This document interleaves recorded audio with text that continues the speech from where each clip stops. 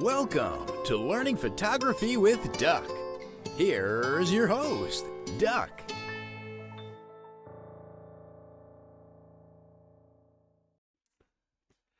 All right. Uh am I good? Okay. Welcome everybody to another edition of Learning Photography with Duck. As always, I am your host, Duck, and today is oh, side, Photoshop edition. Um got a few things to cover. Uh, Adobe has released an update, so if you are a subscriber to the Creative Cloud, uh, you probably have noticed there are some little changes that have been done to uh, Photoshop, and I'll go over those changes for you. Uh, one of them, Gloria, you're gonna like. So stand stand tuned for stay tuned for that. All right, before we get started, of course, let's do a little bit of housekeeping. Um, this past Saturday, uh, uh, Milford Photo had their uh, little walkabout at the Beardsley Zoo. Um, in in corroboration with Sigma lenses, Sigma had a bunch of lenses there that people can test out, and we had a pretty good turnout. I gotta say, we had about 35-ish people turn out, uh, and it was a great day to be out at the zoo. Uh, hopefully you've gotten a chance to see some of the images that I've posted on Facebook. Uh, as far as um, upcoming activities, of course, later this month is the uh, annual uh, CTPPA um, uh, convention.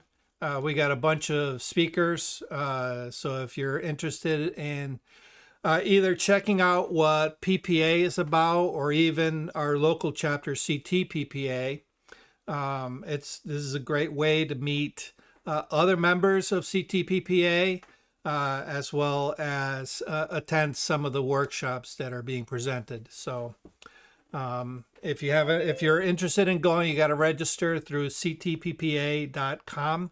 Um, just look for uh, convention. All right. Um, coming up next month, uh, I'm going to be doing my annual multiplicity photo shoot. Duck, you are on mute. I am on mute. I was on mute this whole time and nobody told me. Yeah. Thanks, guys. Thanks, guys. I logged off. I said I can't hear you. I, I didn't hear you. All right. I don't know what's going on.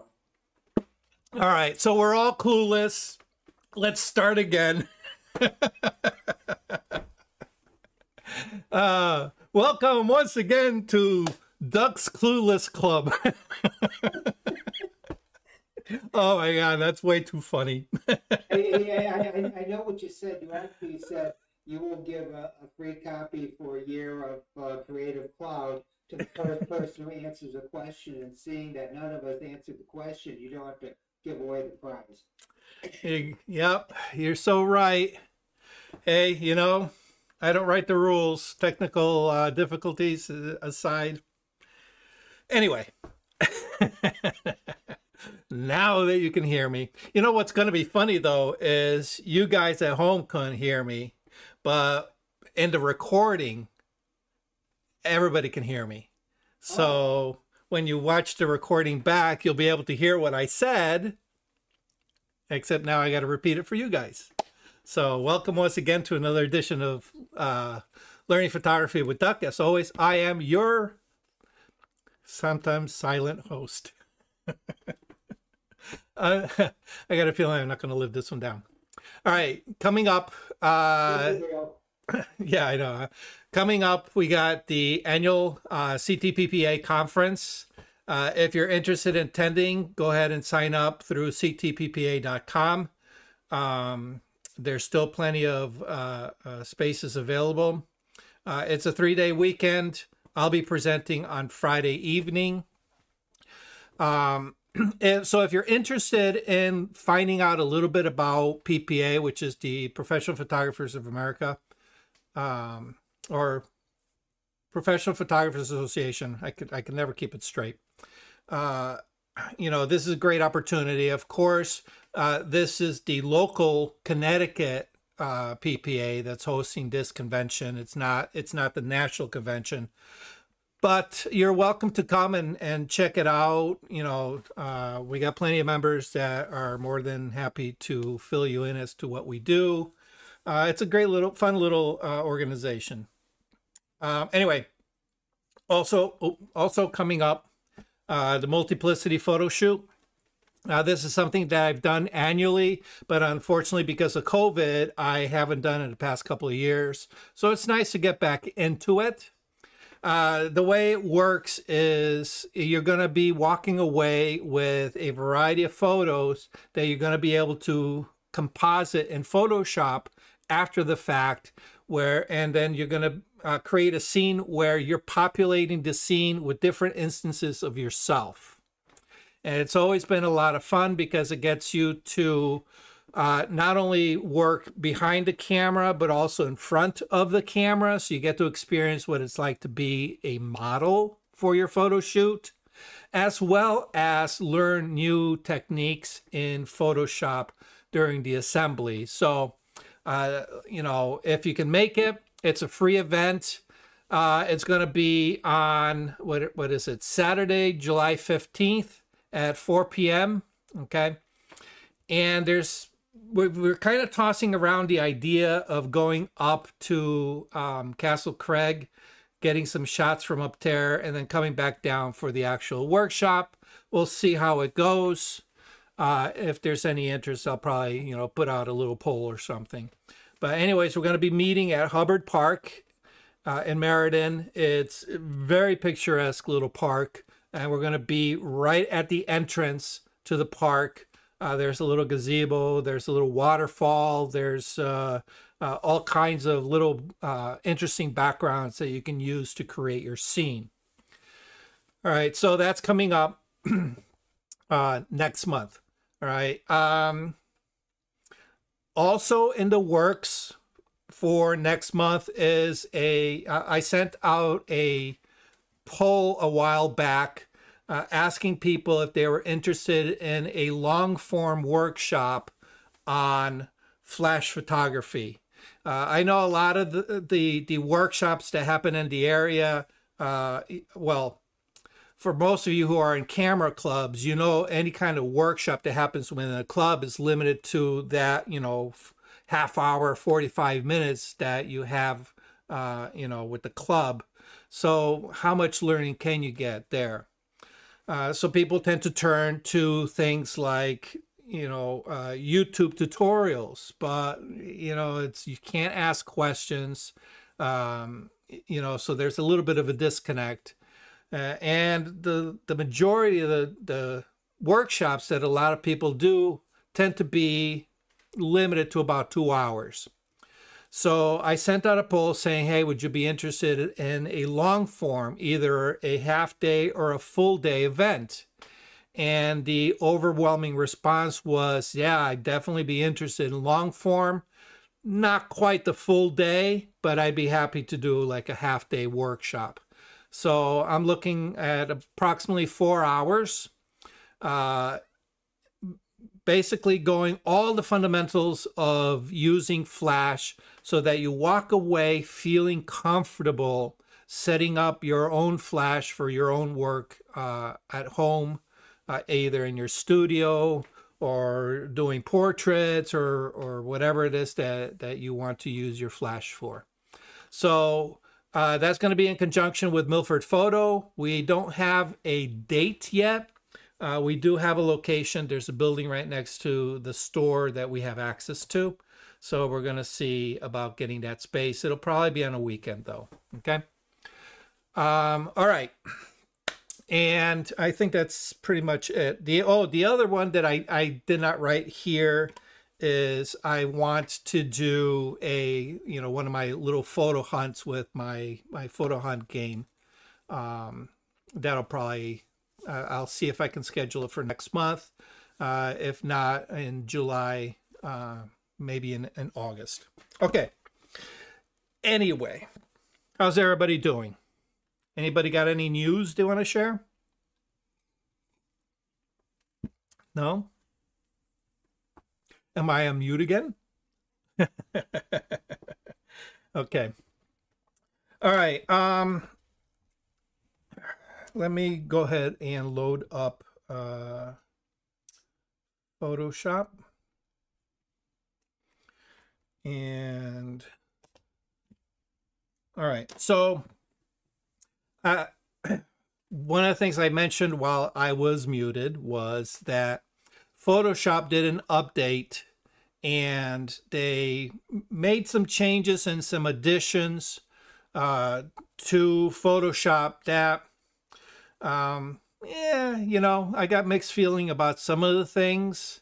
Uh, but of course, anytime that you're used to doing something one way and then they change it and it kind of makes you learn how to work work with this new tool you know it, it kind of can seem a little daunting because it's like ah, i was so used to doing it this way.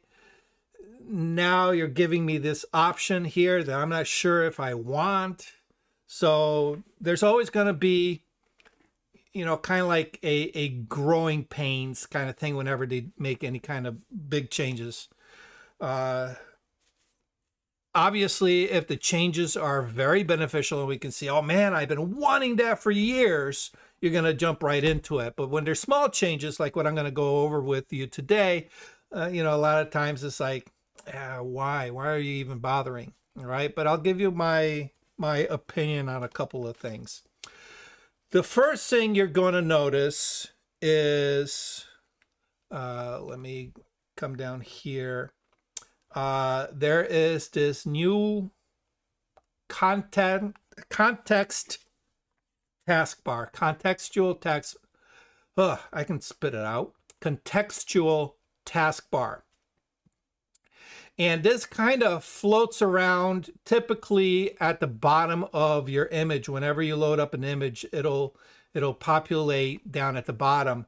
And as you can see, uh, you can move it around and what this is, is a little taskbar that is basically going to put um, the the more obvious tools that you need for a specific task at your fingertips rather than having to through you know search through either a menu or through the um, um, the your toolbox or your um, adjustment layers or whatever it is. You don't have to hunt for it.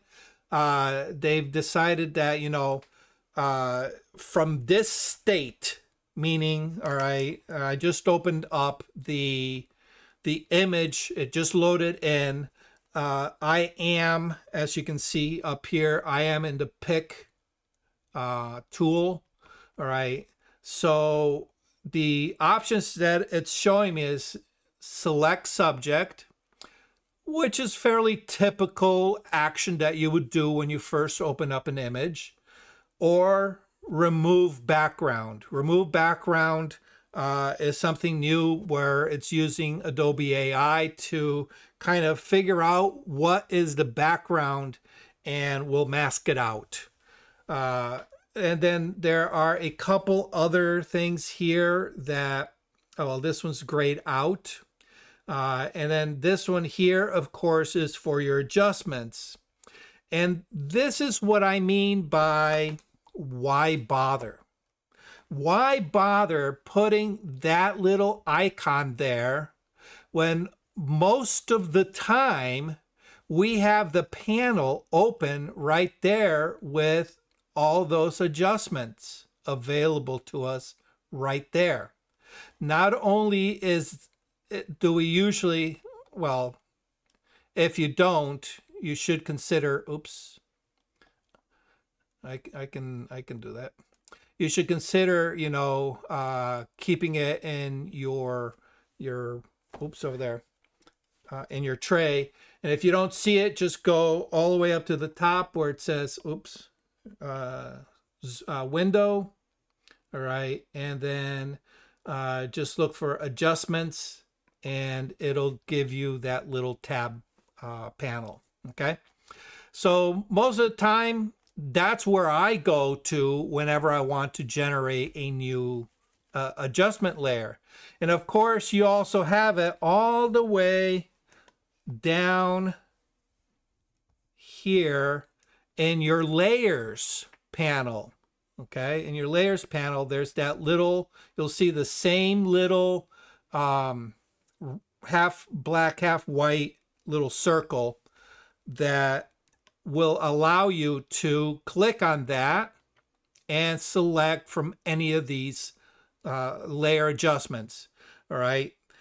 I will use this whenever I need to get something that is not available in the panel above. For example, a solid color a, uh, adjustment uh, is, is not available from the one up top. Uh, so I tend to go there. All right. Why they have it here, I have no idea. For me, it's easier to just go to the panel on the side, but uh, it is what it is. Okay. The other thing, if you notice, there is also the um, adjust the your your um, adjustment panel uh, properties. All right. Clicking on this is going to open up the properties panel. Of course, if you click on it again, it doesn't close it. So it's kind of frustrating to use that to access the properties panel because uh, I usually just have it right here and I can just click on it. Oh, and it moves on me. Click on it and I can toggle it in and out, in and out. I, I, I played with this a little bit, Duck, and I just found like, like what you said. It's like, yeah, so it doesn't add, to me, it doesn't add anything. To right. Right. The only time I think it, it works is um, when you actually start using it. Uh, some of the suggestions that it, it creates actually do fall in line with a workflow. And I feel that at that point, uh, it becomes helpful because rather than having to search through, you know, Photoshop menus and stuff, it's right there on that taskbar. So for example, once you have a subject selected, all right, gives you a few minutes. And of course, uh, with this particular image, it, it kind of failed a little bit simply because it, it selected you know some things that I didn't want but that's easy to fix we just you know uh, we can use whatever tool. Oh, and my tool thing is going crazy again. All right, why is it going crazy? It's probably because I have something interfering with it. All right, well, let me close.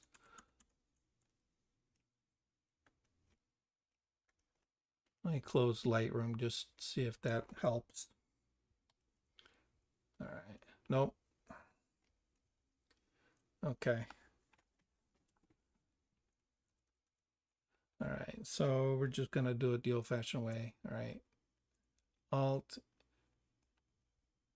You know, we can just refine our selection, you know, by using other tools. All right, but once you have a selection, if we look at the content of the taskbar, you'll notice that the icons have changed and these are now suggestions based on the fact that you are in a selection mode. Okay. So, of course, we can uh, refine our uh, selection. All right. We have all these things available.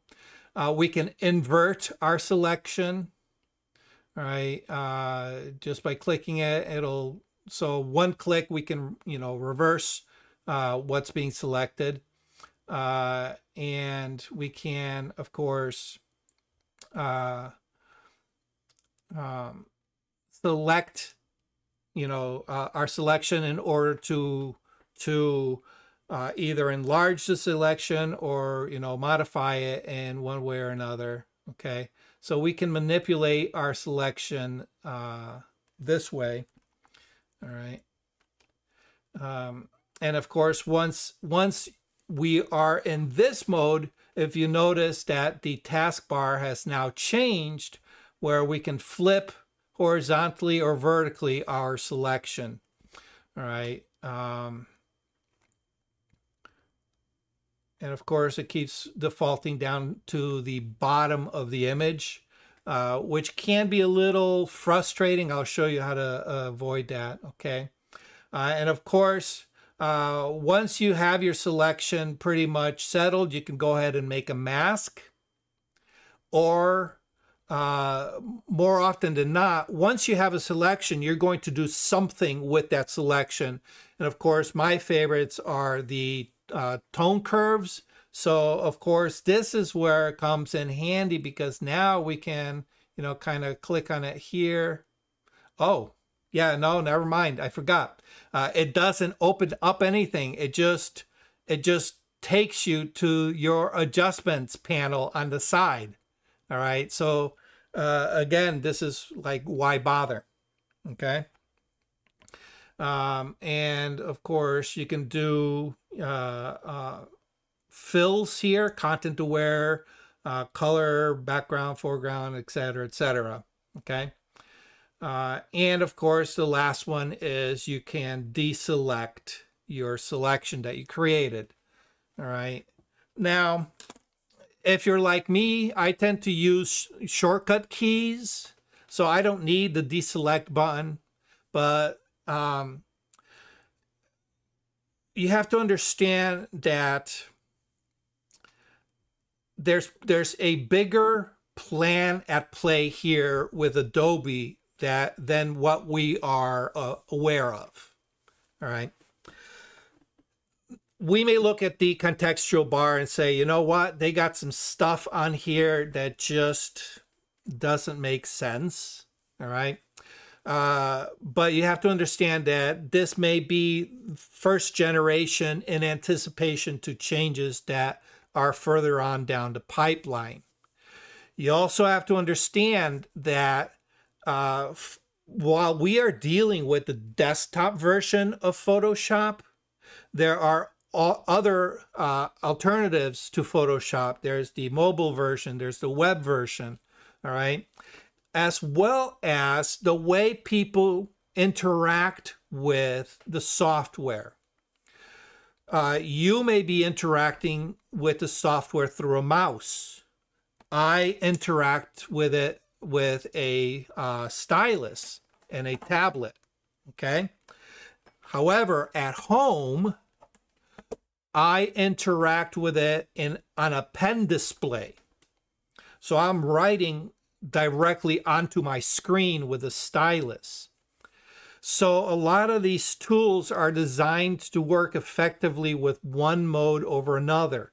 And of course, there's a lot of machines out there that have touch screens. So you can actually, instead of using a stylus or a mouse, you're actually using your finger to do all your work directly on the screen. Um, you know, either a, um, a, a touch screen tablet, or I'm sorry, a touch screen laptop or a tablet. So, you know, we have to kind of assume that Adobe's doing this for a purpose, and it's probably to integrate all these different platforms closer to working together uh, a little bit more cohesively. All right.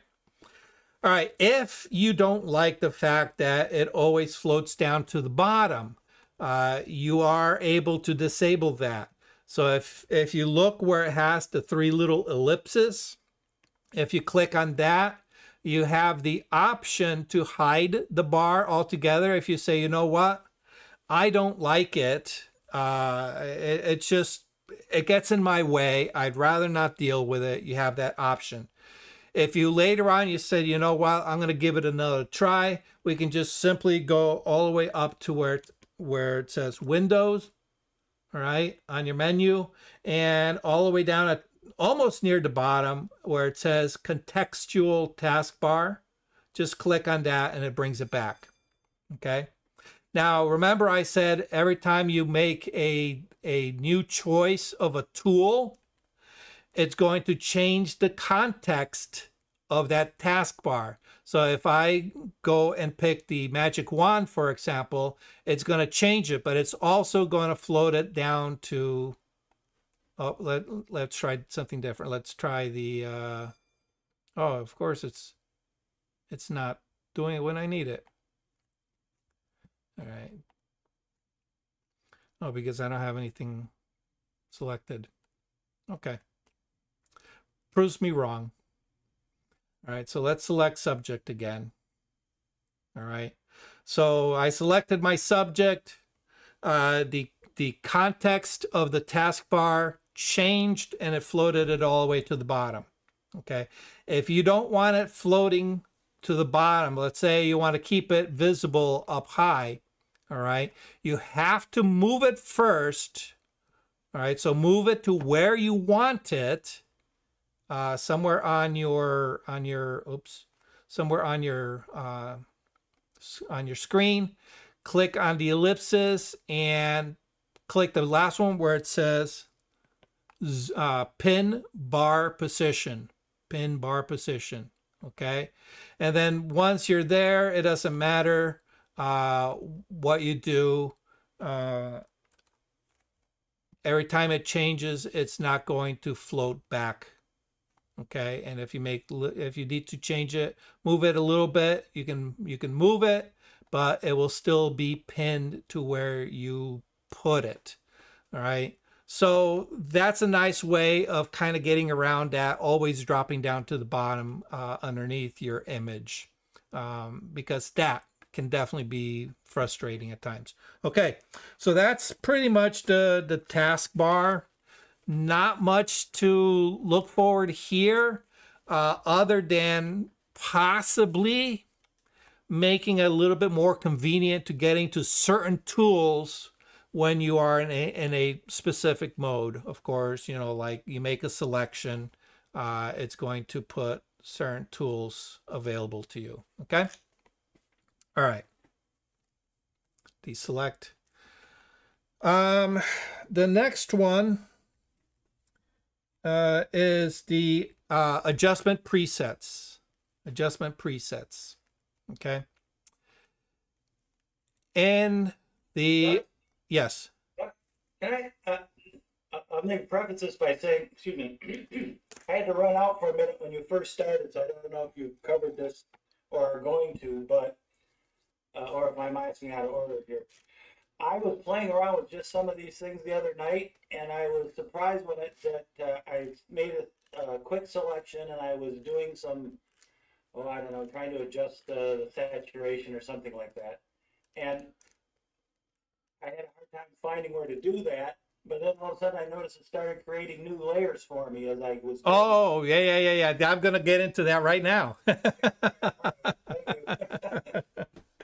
Yeah, because this one kind of took me by surprise a little bit, and I'm sure it, it did for you. Um, and again, this is one of those tools that I looked at, and it's like, why? Why? Okay. I I will mention it first, then I'll go into a little discussion, and then I'll show you what the tool is about.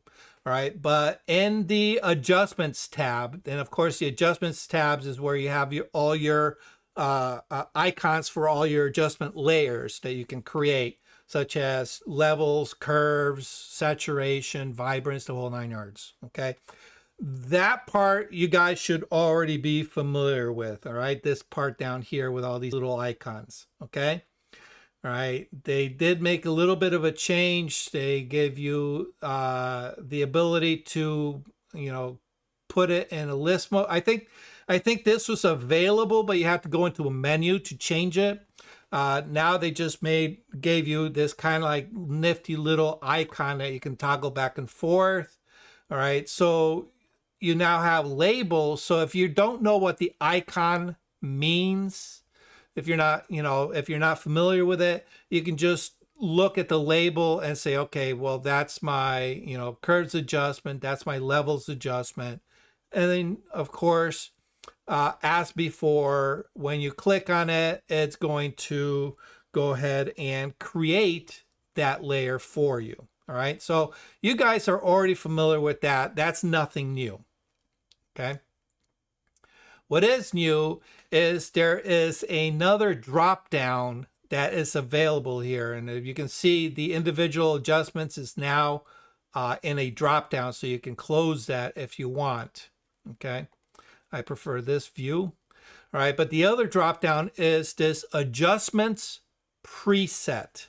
Adjustments preset. And when you first open up, you're going to see some some uh, adjustment presets. And if you hover over it, you're going to see it's going to temporarily apply that preset so you can preview what that preset does to your image. Okay, now. Problem, my problem with that was uh, I accidentally clicked over it and then went, well, I don't want this. And, you know, I know Yeah. I was able to remove it from history, to be honest with you. I- I- Well, not not from history. Not from history. Once something goes into history, it kind of stays in history. History is a, a, a thing where you can navigate backwards if you need to, to get to a previous state. But I had trouble trying to get away from the adjustment. I can't remember Yeah. how it felt. Well, I'll I'll go over it. Don't worry about it. All right. Uh, I just want to kind of explain uh, what presets is in the kind of like the generic term of presets that we're familiar with. Of course, uh, this is a clear example of how we're getting uh, some of the mobile device um, uh, elements being brought into the desktop. If you if you use a cell phone, if you take pictures with a cell phone and you have a little editor, you're familiar with these presets where you just click on it and it changes the overall mood of your image. You can get the black and white, you can get the sepia, you can get the the color punch, you can get the cinematic uh, you know look. Uh, a lot of the times they are very horrific. You really can't do much with them on you know the simpler editors. Uh, but you're familiar with that process of these presets, right? Of course, when we go to Lightroom, all right, we can create these presets for ourselves based on uh, some of the, th- the edits that we do to our image. You know, we can apply uh, uh, certain exposure changes, certain uh, color changes, uh, cropping. We can do local adjustments using some of the the AI masking tools, and we can save it as a preset. And then when we come up to another image that kind of sort of fits that mold for that preset, we just click one button and it applies all those changes to our image, effectively cutting down our editing time by a lot. Okay. Here's the difference. In Lightroom, we can create our own custom presets. In Photoshop, as of right now, we can't. But I will bet you money that coming down to pipeline, we'll be able to edit some of these presets. Okay. So right now, they're kind of generic. All right. and uh, I would suggest spend a little time with them just to see what they do. All right. Because you have to understand that just like the presets in Lightroom, we can apply a certain amount. We can always back that amount off. We can reduce the effect. So if we have something that turns your colors really ghastly, but it's kind of in the neighborhood, we can dial it down. We're able to dial it down. All right. So we can use these presets here kind of as a starting point if you have a hard time visualizing what you want to do with your image, use this as a starting point and then back it down. Okay. The other thing is, as uh, Bill mentioned when he was playing around, when you click on something, all right, let's say, uh, oh, well, before I click on anything, all right, you're going to see that there's only five of them here. Um, and uh, it's like, well, okay, there's not much you can do with just five. But if you go to the end, you're going to see where it says more. If you click on that, it's going to give you a little drop down of all these different types. So whether you have a portrait or a landscape or you're doing photo repair, uh, this one I, I couldn't make any sense of. Okay. Some creative shots, black and white uh, presets, and of course, the ever popular cinematic presets. All right, so let's say, you know, here in this case, I'm working on a landscape. If I click on landscape, let me, all right, it gives you five variations. And of course, if you hover over them, it's going to allow you to kind of preview what it does. And you can see that uh, they're very minor, all right, including going all the way to black and white. So a little bit of color pop. All right. My image was pretty, pretty decently saturated. So I'm not seeing, a, you know, a major shift there. All right. So, okay. So I went through the landscapes. Nothing impressed me. Let's try the cinematic. Oh, this one looks good. What's that? Oh, no. Well, that's, that's too, too weird. Okay. Let's try this one. Oh, that's definitely way too weird. All right. So play around with them, see which ones. All right, let's try this one. That's not much. Let's try this one. Yeah. Okay. Uh, so let's go to the cinematic. I'll click on this blue one. All right, because that's the one that very noticeable change, right? As soon as I click on it, you're going to notice that Actually, let me go ahead and dock this back down. Okay. You're going to notice that it generated a series of layers and it created a folder that it put these layers into. So everything's nice and compartmentalized for you when you click on that uh, preset right? And you can see that in order to get this particular look, what they did was they created a uh, brightness contrast uh, layer and a photo filter layer. Okay, so now you can see what it does and you can see exactly what created it. So you can use this as a learning tool as well uh, if you're not too familiar with some of the tools that Photoshop has available. All right? yes. Yeah. Uh, what is the purpose of a sub layer or a sub adjustment layer or a sub mask? Um, I've seen people do that. I just don't know how it's done or why it would be done. Um, you, you have you have oh, um, I'm trying to look at it and it comes to my my my uh, picture instead of yours. Shut up and see if I can think of it. Uh, maybe I'll chat it to you. Yeah, I'll uh, uh, uh figure out what they mean by sub mask. Okay, I, I don't I mean by sub is you have that first layer. Uh that looks like in, in, in some sort of writings, you have a, this reminds me of some sort of writings where you have a, a subject and then you have a sub layer, a subsubject, and that's indented. Why are some? Oh, okay, okay, okay. That's my question. I gotcha, gotcha, gotcha. Okay. Um, and I think I, I think I, I know what you mean by sub mask, and and I'll maybe I'll I'll I'll show it here. Okay. Um, but for some reason, my my pen tablet's not behaving properly. Watch. On. Let me build a new new layer here. oops, move that up. Uh, get my brush and yeah, see my, for some reason, my, my brush is off. I don't know why.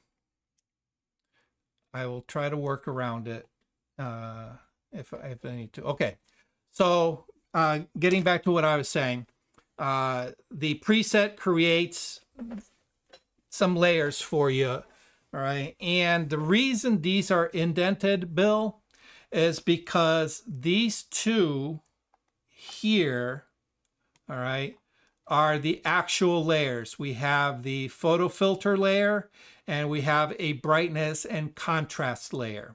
Okay, but the reason they're indented is because they reside within a group.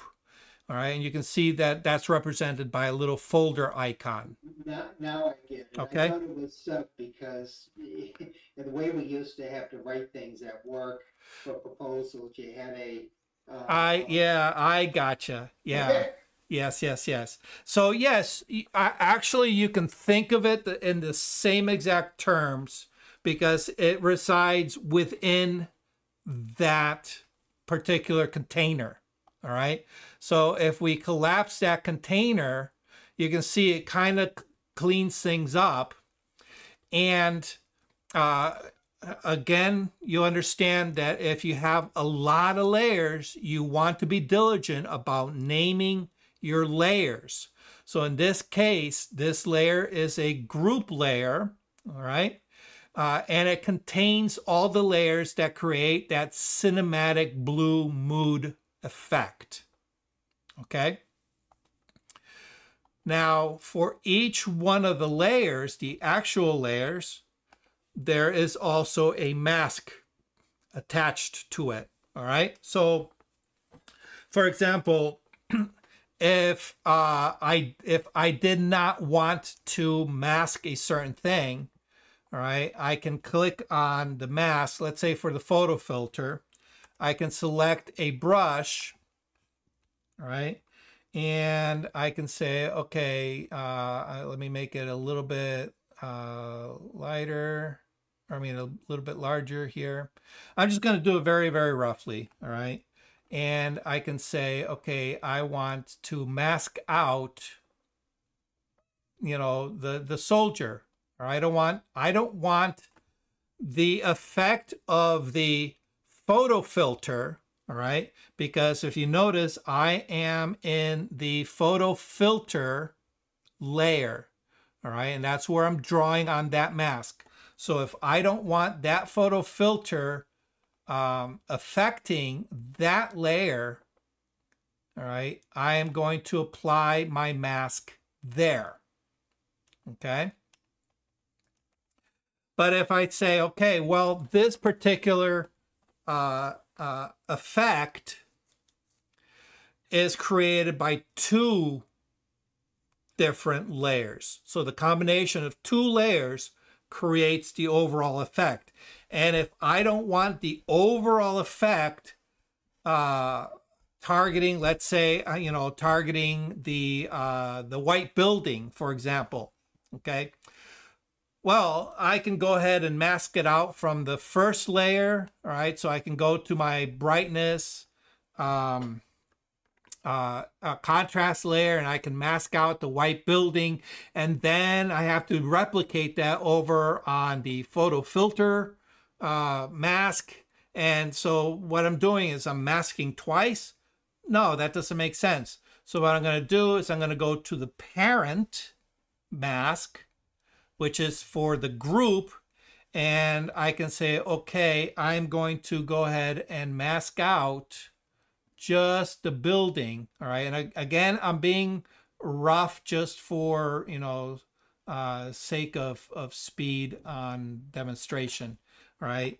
And now what I've done is I've told Photoshop that I don't want that cinematic blue effect uh, um, targeting any part of this building. So I'm going to mask the building out.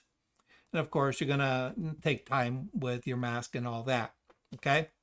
So now we have you can think of think of this kind of like your master layer all right uh, your master mask all right which takes care of everything underneath and then below that you have sub masks that target very specific areas for that one particular layer all right does that make sense for you bill Yes. Okay.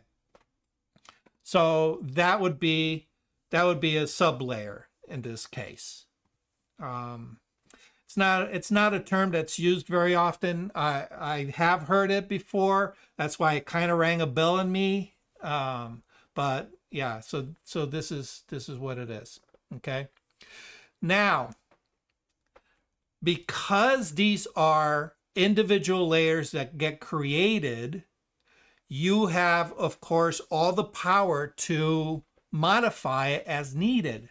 All right. So if you say, okay, well, you know, uh, I have this um, uh, photo filter that's adding this blue mood.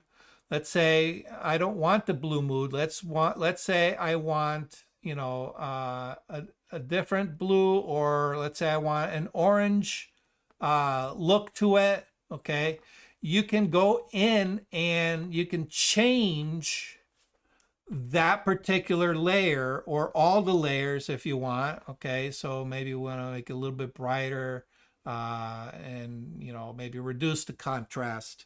Whatever it is that you want to change you you are more than welcome to go in and change the individual parts okay? And of course you can collapse your layer and there is your preset that has been augmented to your particular needs. Here's the caveat, and I'm thinking again, it's pr- probably temporary. I made changes to that preset.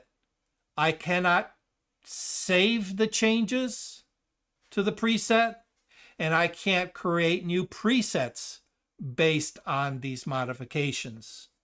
All right. So all those presets that are available here, all right, let me pull this back out. All these adjustments and these presets, that's it. That's what you're stuck with. All right.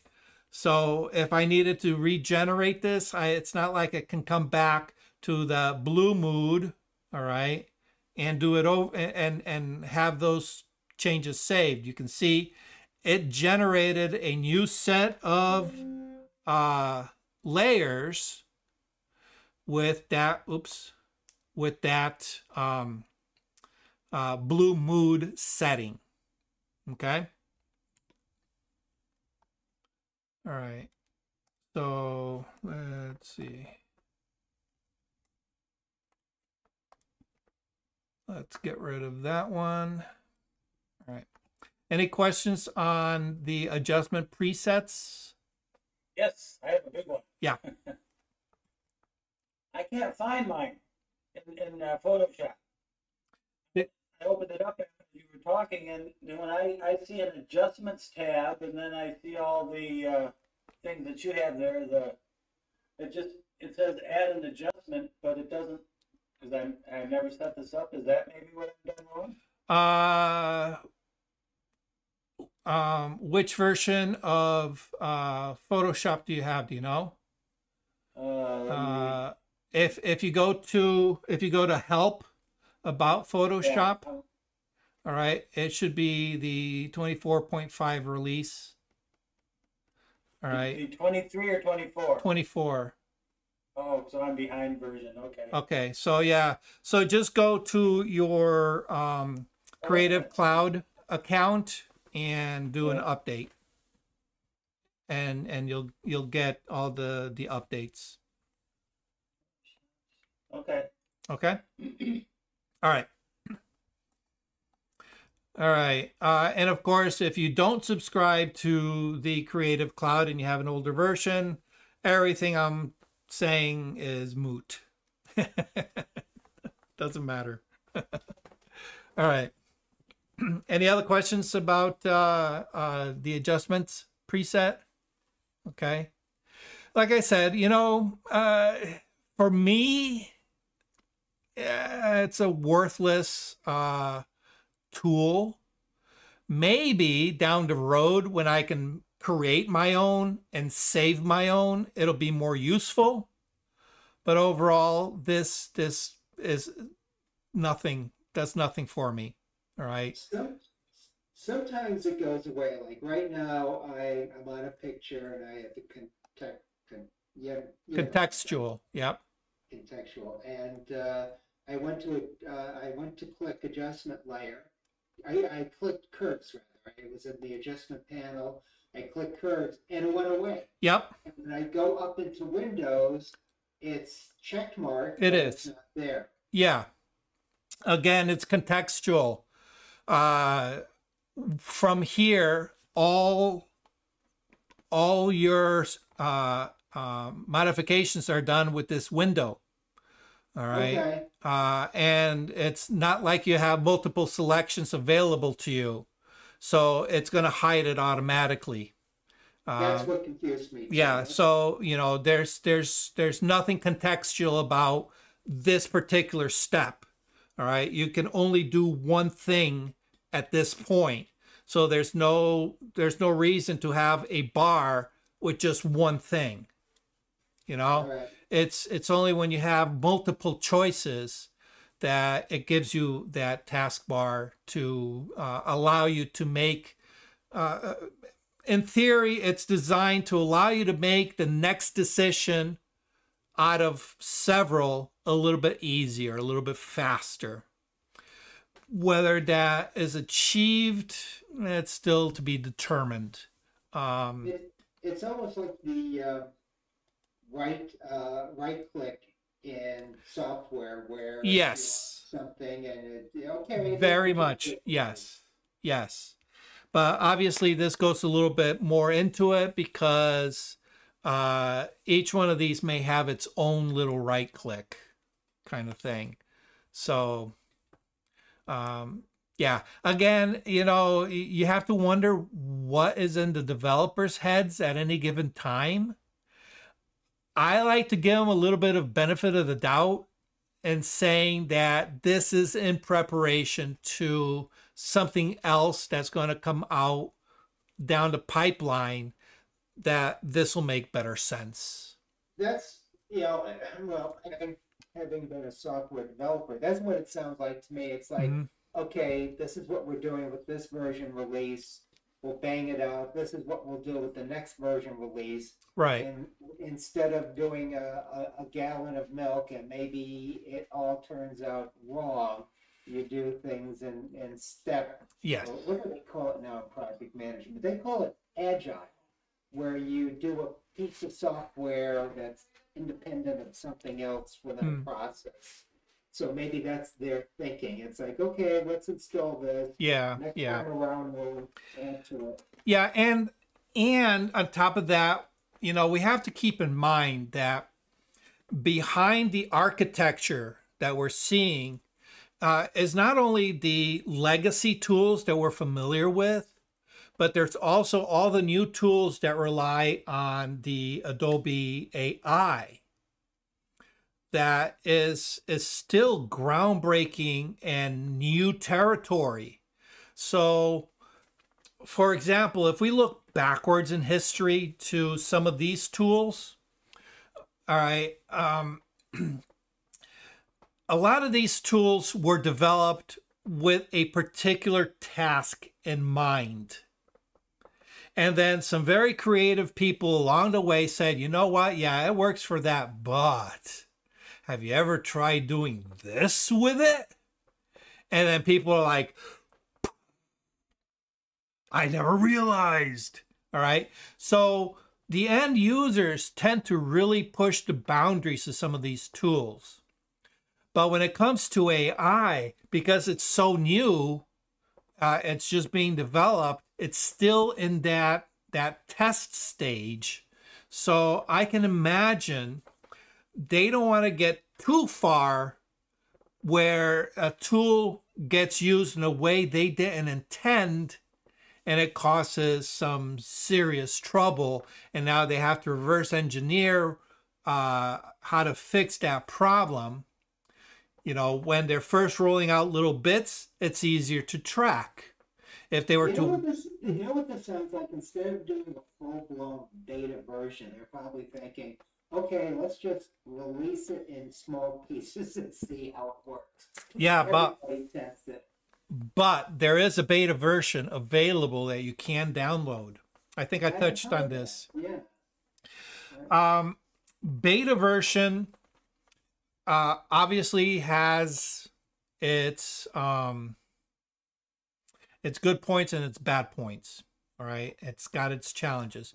Beta versions obviously is not ready for prime time viewing. It's not ready for the everyday uh, um, consumer. It's a lot of uh, things that they're going to be implementing that are still in the developmental stage. They may have little bugs in them. They may have little flaws. Uh, it may not be fully configured uh, to work with the UI. All right. Or they may say, we're going to put it here. We're going to test it. And then we may say, you know what? Instead of putting it here, it fits better over here. We'll switch it here. All right. So they get all this feedback from the beta testers. And of course, because it's it's not a uh, what's the term? Um, Robust.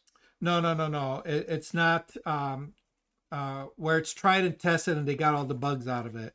Um, not stationary. Um, oh, what's the term? Uh, well, anyway, um, be, because there are things that can go wrong with it, uh, you're kind of taking a little risk. The liability is on you as the user, as a tester, that if something does happen really bad, Adobe says, "Hey, you know, we warned you. It's it's beta. There are things that can go wrong. All right.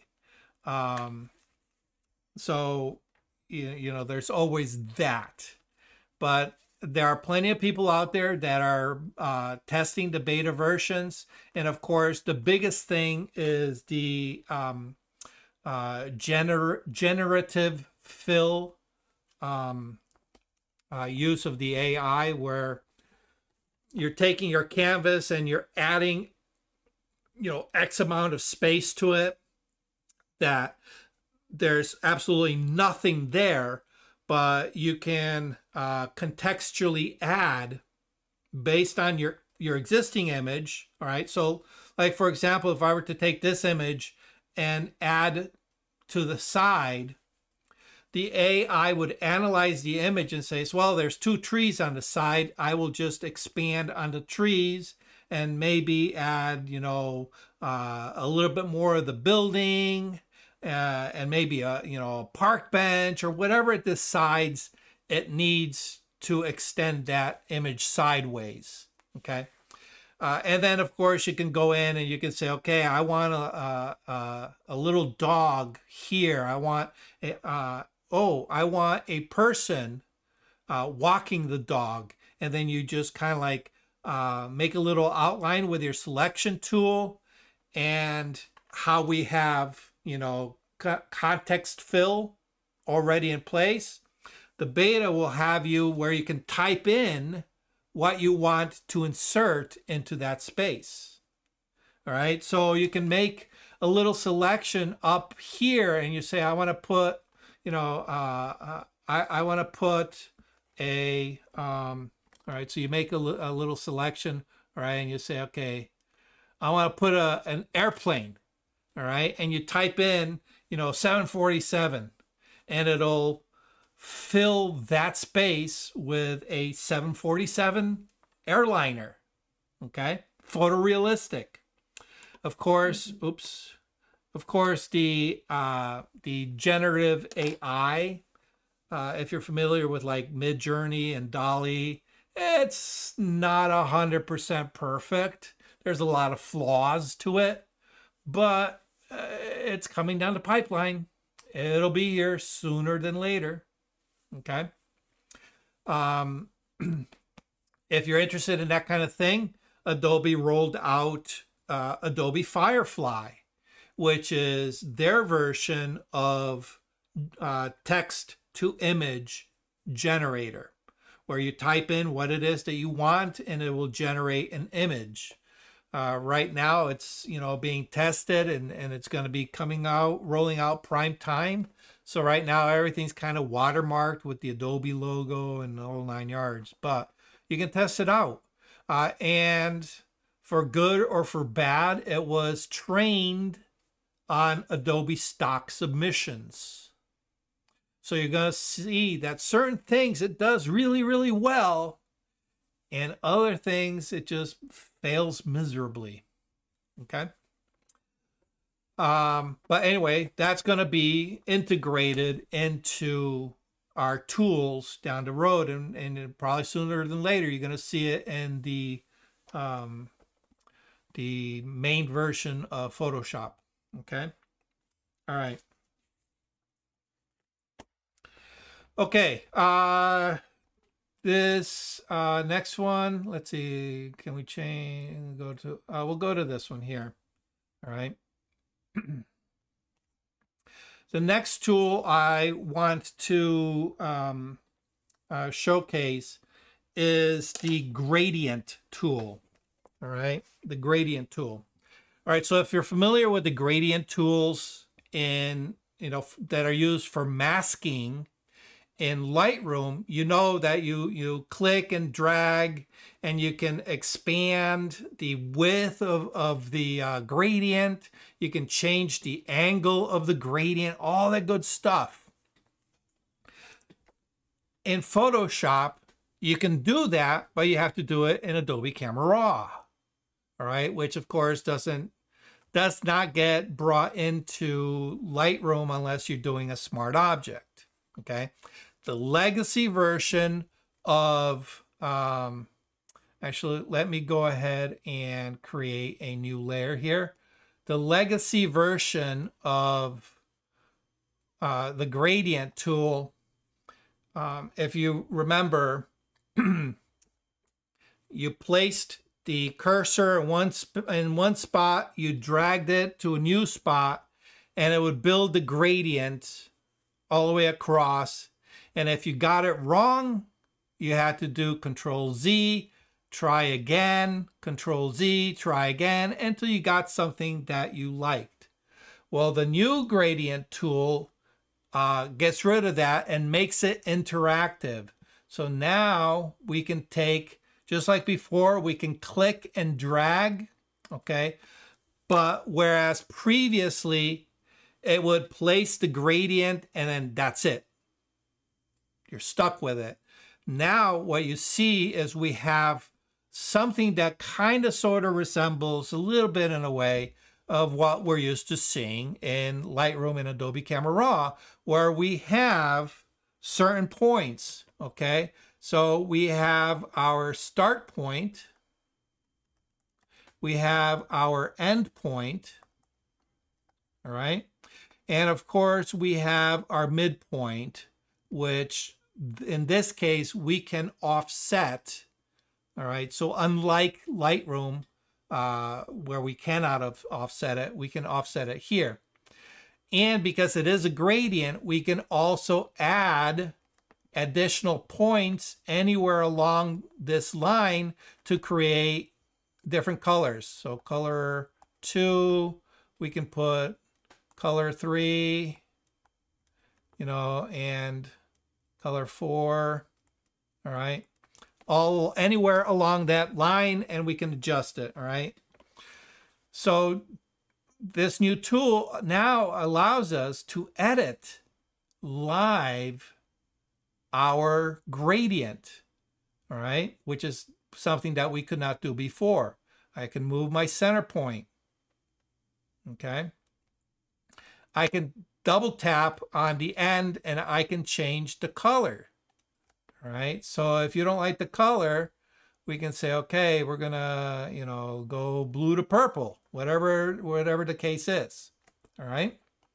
So we have full editing capabilities. We can we can add, all right, we can, just like previously, we can go up to the uh, our uh, context bar at the top, our toolbar. All right. Click on that. All right. Oh, wait a minute. We can double click. Here it is. Double click on, on, on the uh, layer. And we can double click and change anything along. We can add additional colors. All right, so maybe we want to change that to a uh, totally different color. Okay. We can add opacity. So just like before, we can, you know, um, uh, make it go from 100% to 0% or whatever the case is. All right. So you have full control over it. All right. And then once you have it, here you go.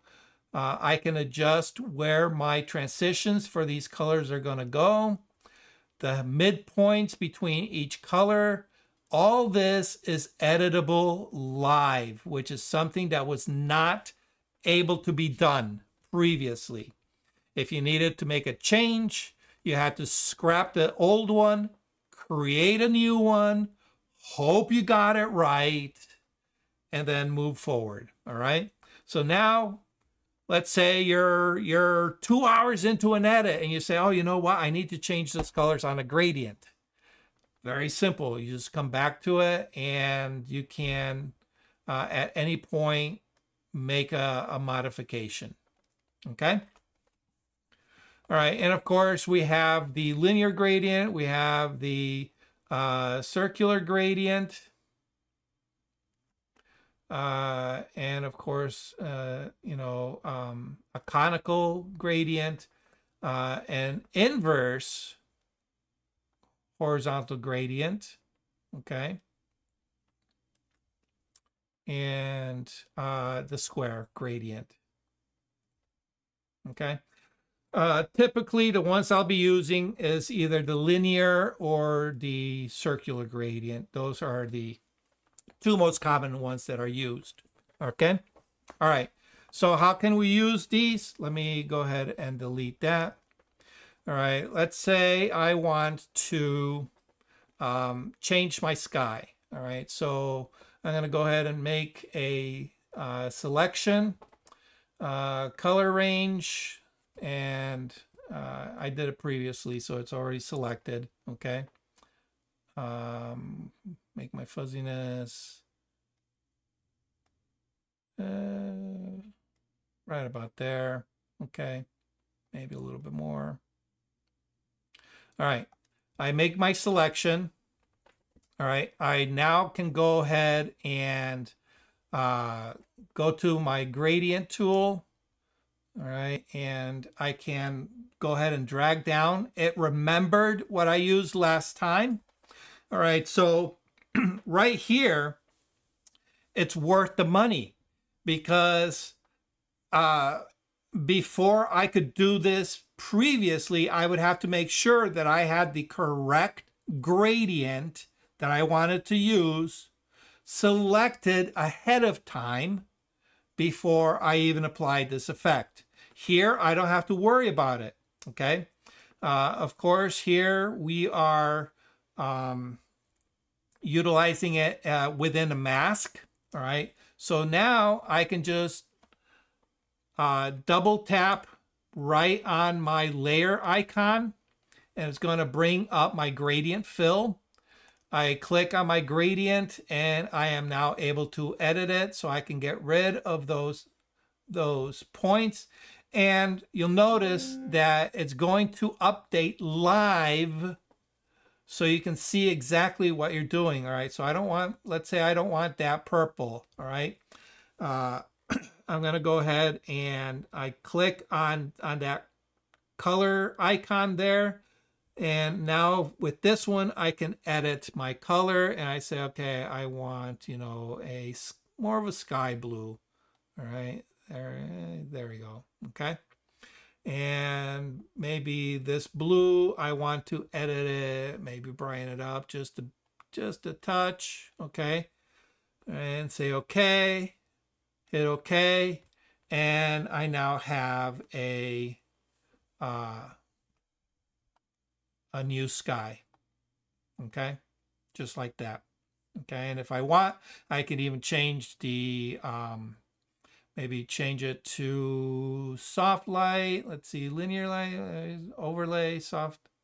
Change it to overlay. All right, make it a little bit more natural. Okay, and just like that, I've added color to an otherwise bland sky. Okay. Um, uh, of course, you can use it to create, um, you know, little spotlights.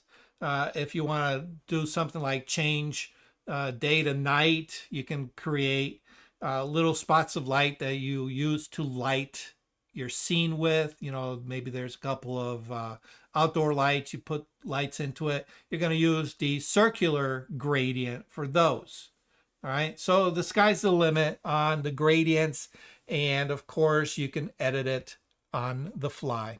All right, any questions on live gradients?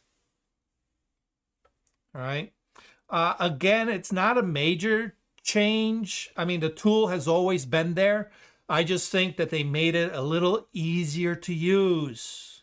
All right, it's now a non destructive way of working with gradients and it's been a long time coming. All right. That has been one of my frustrations in the past. All right. One more tool to go through, and then uh, we'll go through some questions. All right. the last tool, all right, is the remove tool. Remove tool. Okay. And that comes in with the um, with the spot healing, the healing brush, patch tool. All right, the remove tool is the one that looks like a band-aid with the two little stars. All right, the remove tool. Okay. And there's a few differences between that and the spot healing tool, although they kind of sort of look on the surface like they do the same thing. Okay. Well, let's let's start off first with the spot healing. Okay.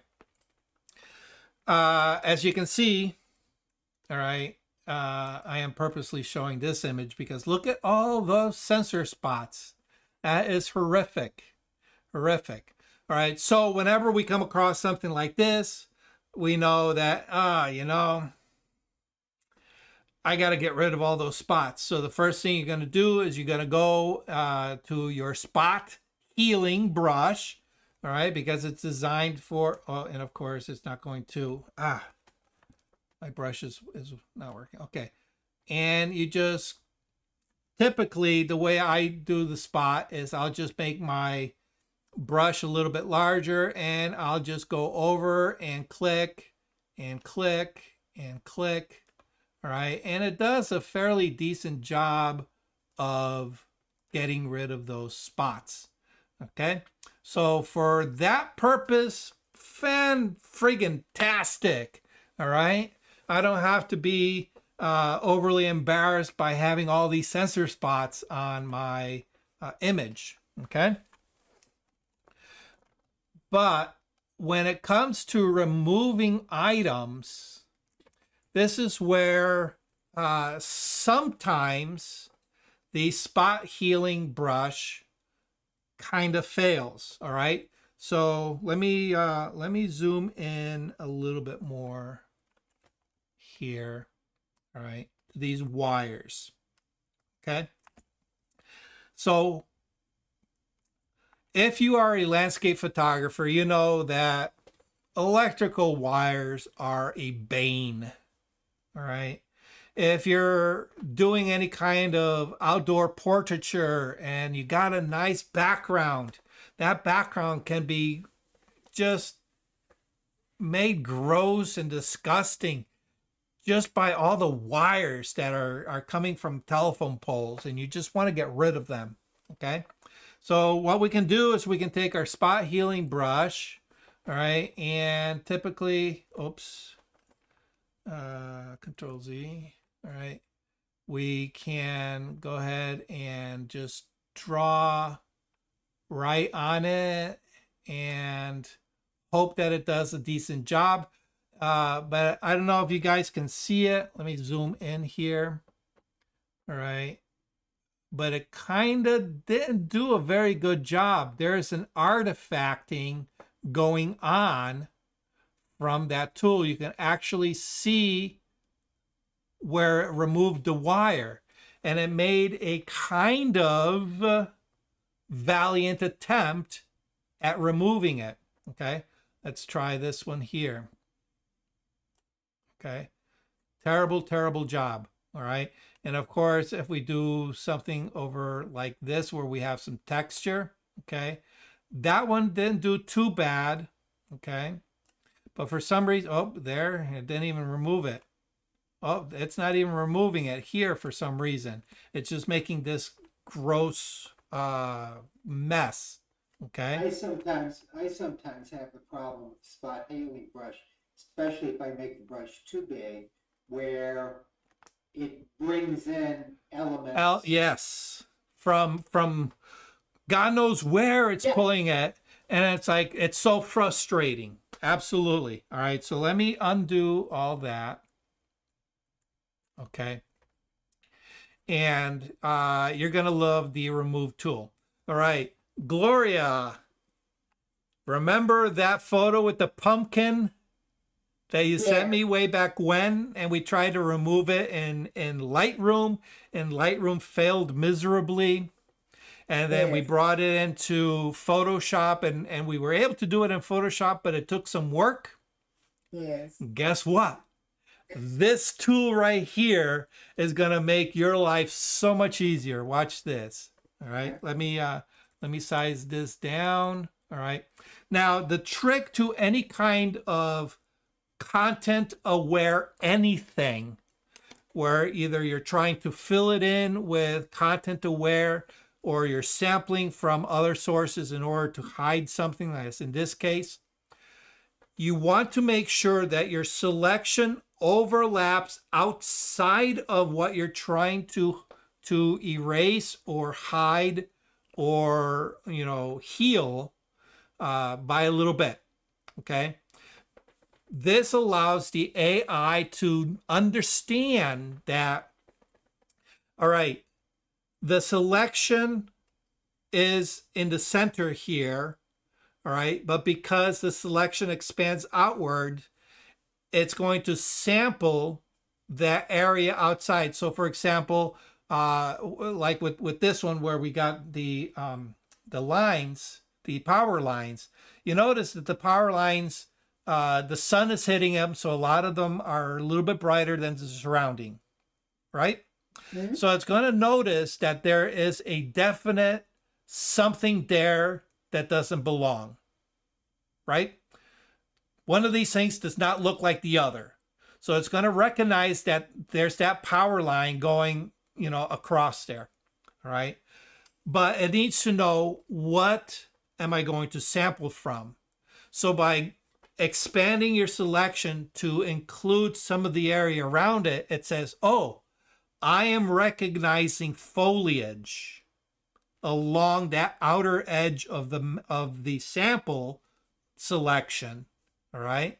And i see that that bit of greenery that is within the sample selection also extends past my selection so i'm going to use that as a guide to fill in what doesn't belong here. And in this case it's the wires. Make sense?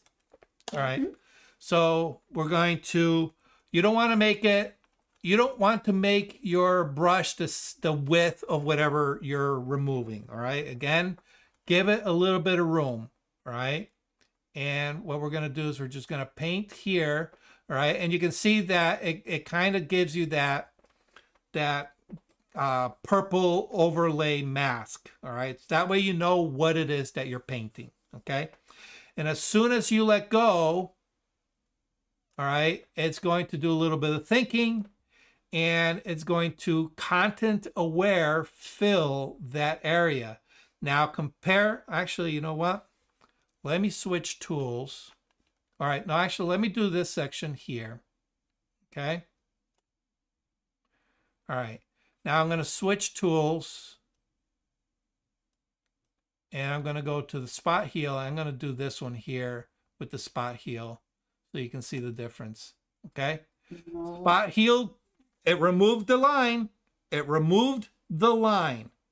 It did its job, but you can see it did it horribly, horribly. You can see uh, a ghost, a residue. Uh, it doesn't quite line up, right? But right next to it, where it took care of that other part of the line, that uh, um, remove tool did a beautiful job. Okay. All right. So let me undo that. Uh, we will switch back to our remove tool. Okay. And I'll go ahead and just paint on that. Okay. And remove. Okay. So you can see it does a, a much better job. All right. All right. So let's break it down uh, a little bit. Okay. Because if we look up, up at the top, we have some things available to us. Okay. Uh, the first one is, well, the first one is the size. So you can, obviously you can size it here. All right. Um, or you can use the alt or option. If you press and hold the alt or option and use your uh, uh, left mouse button, all right, you can you can change the size on the fly. I don't know if you know that trick. Okay, but you got to press and hold the alt uh, or option key. Okay, and then you can go ahead. All right, so you can you can change the size on the fly, or as always, you can use the the bracket keys. All right, uh, right bracket expands, left bracket makes it smaller. All right, so you guys know that. All right, oops. The next one here is a little target with a pencil. Uh, if you have that selected, it will use the pressure sensitivity of a stylus. So if you use a stylus, it will use pressure sensitivity for the size. I'm not a big fan of it because, you know, uh, I don't want the size shifting and changing while I'm drawing. I don't want to be bothered with that. So I usually, I leave that unselected. All right. The next one is sample all layers. All right. And you can see I am checked sample all layers. Okay. So what does this mean? All right. Now, if you noticed previously when I first started this, I got rid of all those little sensor spots. Okay. I am very confident in the tool to effectively re remove all those sensor spots without me having to do it on a separate layer. So what happens now, whenever I do anything, if you notice, I am still on my master layer here. So this tool is actually working destructively. Every change I make with that tool is modifying the pictures on the original layer. It's working destructively. Okay. So I have to be aware of that. And if I see it do something that I do not like, I have the option of undoing it with the control Z, okay? But I have to do it at that moment. I can't wait down the line. If you're not comfortable working that way, and I honestly, I suggest you don't work that way, all right? Uh, certain things I do, all right, like those spot removals, I'll do it, all right? Getting rid of these, these um, um, power lines, I'll do it destructively. But whenever I'm doing something like high-end retouching on somebody's face, I will work in a different way. So what I'll do is I will come down to the bottom. I will create a new blank layer. Okay. And I will do my spot removal on the blank layer. But in order for that to happen, you have to make sure that sample all layers is selected. Right, so if I uncheck that and I am here on my blank layer, if I try to do anything, it's going to give me a warning saying, hey, I'm not finding any pixels here to manipulate because I'm in a blank layer, okay? So be aware with that, all right? So we get rid of that. We click on sample all layers. Now I can go and I can oh, go ahead and remove, remove, remove, and remove, okay? But because I am on this layer here, okay, if I hide it, you can see there are my lines, okay? So that means at any time, I can come back and fix it by saying, okay, well, you know, uh, I didn't mean to remove such a thing. I can go get my eraser tool, right? And I can go ahead and just erase a certain part from that layer, okay? And I am back in business, all right? And I can do this, you know, uh, two hours down the road and say, oh man, I don't know why I erased that. I actually need it. I can come back to this layer and bring it back. I don't have to panic as much, okay? It all depends on your comfort level and how you work. For me, power lines, I want them gone. I don't care. They're never coming back.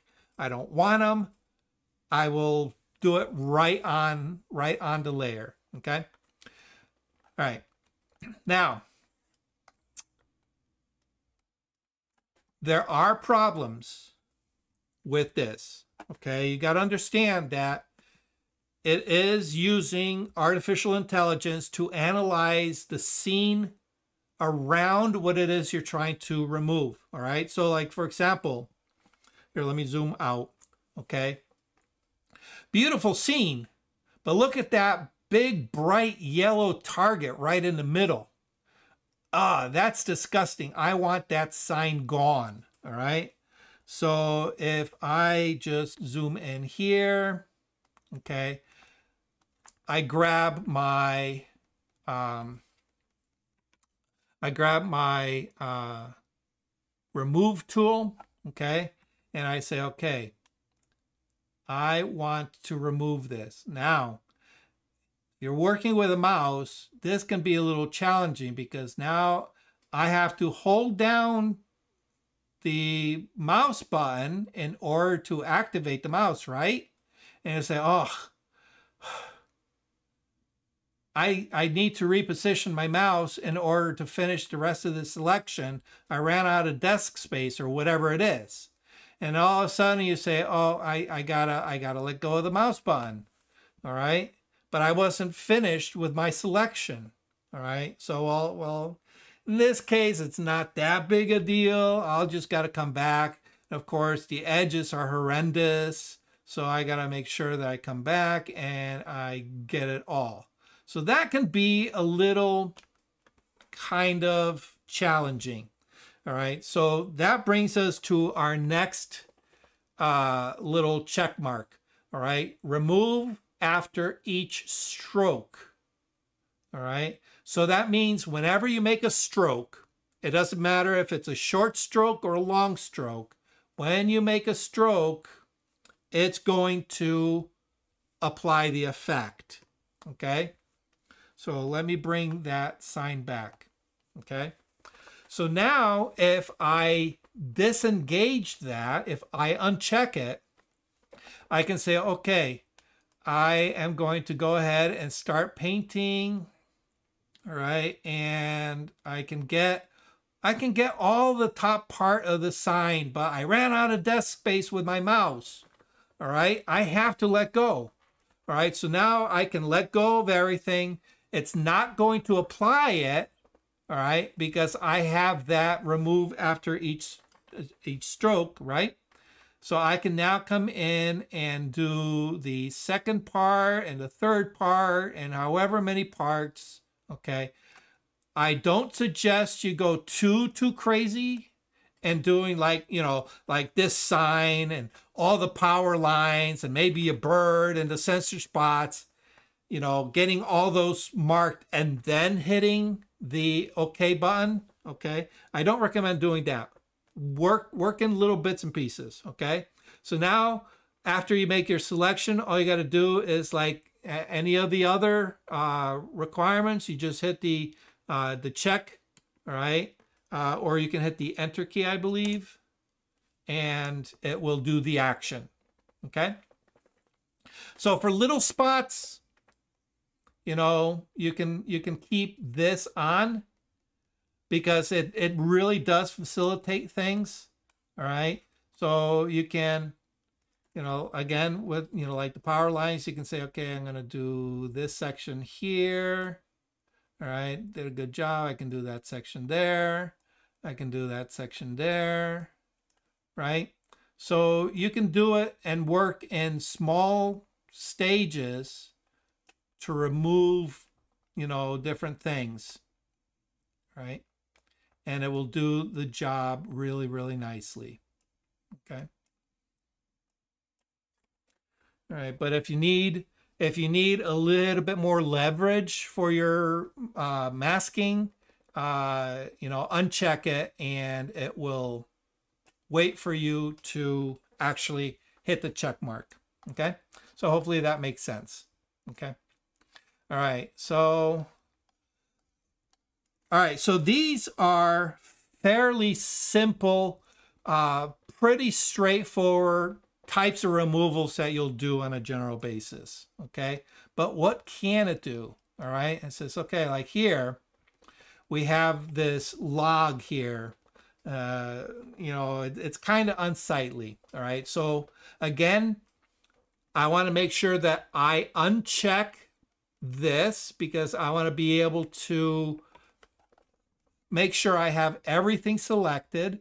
All right. And again, you don't have to be very, very concise with your mask. Uh, again, you want to kind of overlap a little bit outside of the mask so the AI tool understands what it is you're sampling from, okay? You also do not want to leave any holidays inside the mask because it'll it'll kind of like try to retain that and build something around what's left. So, you know, be aware of what it is you're masking and make sure you make your your mask selection appropriate. Once you make it, go to the top, all right, and hit the check mark or hit the enter key. right? it's probably faster to just mask, mask, mask, hit the enter key, it'll do it. Mask, mask, mask, hit the enter key, it'll do it. All right. So just like that, you can remove some unsightly elements from your uh, image. And you can see it does a really, really decent job with, you know, um, stuff like this. Okay. Now, a lot of you might think, well, you know, uh, why do I need to get rid of that stuff? All right. This goes back to you want to show you, you want to show only the things you want your viewer to see in your photographs. If there are elements that distract the viewer's eye, that works against you. So you want to minimize any of these distractions. A lot of people say, well, you know, that's the way it is in reality. There was, you know, there was that log there. By removing it, I'm creating a false narrative.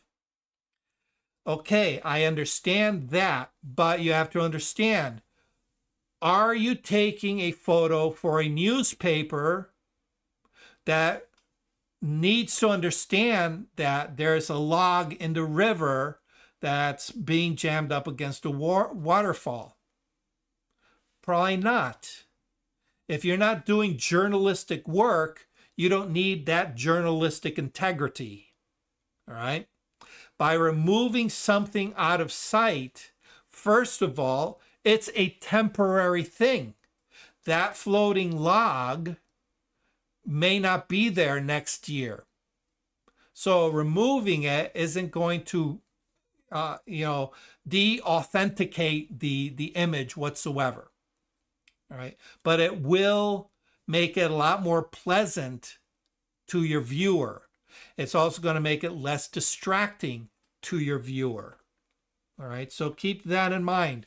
There are things that you do have authority to remove. And so for example, if you're if you're editing a portrait, all right, what's the number one rule? If the blemish is temporary, you remove it. All right, because what's going to happen now that that beautiful portrait you, that you took has all these blemishes that in a month are no longer on the person. Their skin cleared up. That big pimple that was on their cheek is gone now. So what's going to happen? That photograph is going to be a reminder of a horrific thing in their psyche. I hated that friggin' pimple. And now I got to look at this stupid portrait that always reminds me I had that pimple on my face. And they're going to hate the picture. They're going to want it gone. They're going to take it off the wall and, and hide it. And you failed as a photographer. All right. So temporary things, get rid of them. Logs on a river, very temporary. Get rid of them. Okay. All right. So, uh, any questions on that tool so far? You can see the benefits of removing those those. Um, here, I'll show you with the power lines, without. All right, with that sign in front, without. With the the clutter on the uh, the edge of the the waterfall and without. See how much cleaner that looks? No distractions. And it does not change the spirit of the of the image. It's about the church. Okay? It's about the church. It's not about the garbage floating in the river. It's not about that ugly sign in the front. Okay? How many times have you taken a photograph of a location, brought it back home, opened it up, and go, oh my God, I never saw that sign. And here it is, plain as day, in the photograph. It happens all the time. We are blind to certain things. Let your edit reflect that, what happens naturally in our own minds. We mentally erase things. We mentally erase power lines all the time. We mentally erase signs all the time. Okay. So, anyway, that's my little soapbox on that. Okay. Let's give it a, something a little bit more challenging. Oops. Let's bring this and put this back. Okay. All right. Ah. I don't want that person and that dog there. Let's remove the person and the dog. Okay. All right. So what we're going to do, well, first of all, let me go ahead and zoom in a little bit more. Okay. We're going to make our brush larger. All right. So holding down the Alt key or the Option key and then uh, click and drag your your mouse. If you if you click and drag your mouse to the right, it's going to make it bigger. If you click and drag to the left, it's going to make it smaller. Okay. All right. So that's a, that's a good way of kind of, kind of doing it. All right. So we're going to go ahead and we're just going to paint. And because it's a large, kind of like really weird section, you want to make sure that remove after each stroke is unchecked. All right. That way it'll allow you to make your selection. All right. And there's my guy. I'm to remove the dog. All right. And I'm to, let's resize the brush. Okay, get the, the dog's legs. Oh, let's resize down a little bit smaller. We'll get rid of the leash as well. We can't forget the leash. All right, and you know what? Since we're here, we have the shadows too. Maybe, maybe we should get rid of the shadows because obviously if we remove the, the dog and the dog walker, but leave the shadow, it's going to look strange just, you know, having shadows on the ground. All right, so we'll get rid of that. All right, and of course the shadow from the leash, we'll get rid of that too. All right, ready? Let's go. We hit OK. We give it a few minutes. You can see the and there it did. It did a fantastic job, didn't it? Woo. Oh, maybe not. Let's take a look. All right.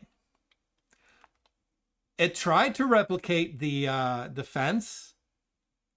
It kind of did a decent job considering, you know, it's it's machine learning trying to to figure out what is actually behind a person Let's check out the, uh, oh, what the heck's going on here with the paving stones? All right, well, it got rid of the shadow.